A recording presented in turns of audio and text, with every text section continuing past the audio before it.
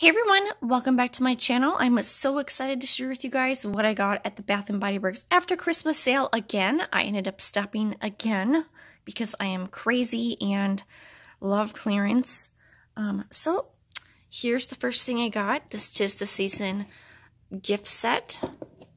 It comes with all of the beautiful day like body mist, body wash, and body lotion.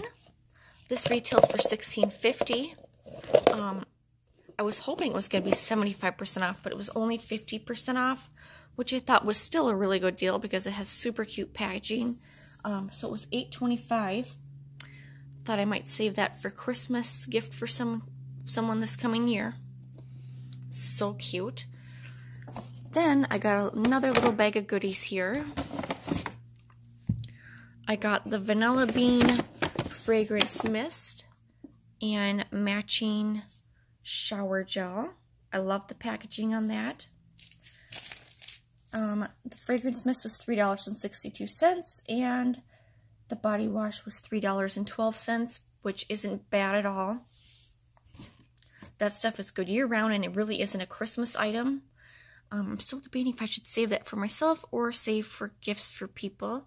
I should show you guys my um, hoard of Christmas presents and birthday presents and how I organize it. Um, thumbs up this video if you guys want to see that. Then, if you guys didn't watch my last video, I got one of these for my husband and he absolutely loves it. It was his first time using a Bath & Body Works body wash and he said it lathered so well and smells so good.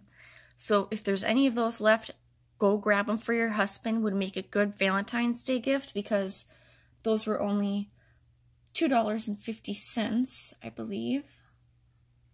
Let me see again here. Oh, sorry, $3 and Oh my gosh, I'm sorry. Yeah, $3.12 this was. Um, these are hard to find on sale during the year because it's just a kind of a staple there. And there was only one of these left, and I told my husband, you better get that. It smells so good when I opened it to smell it. It's the C.O. Bigelow Barber Hair and Body Wash. I love the packaging, which is why I grabbed it to smell, because there was only one left. um, but yeah, this smells unbelievably um, good. Very manly. Let me see if I can find the price of that.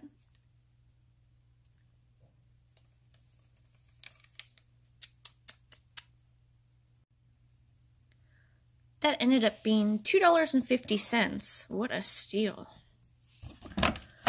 And last but not least, I found this Frosted Coconut Snowball Hand Lotion. I mean body cream. I love the packaging on that and couldn't pass it up. It's so cute. That was usually like $6.50, I believe. And I got it for $1.62.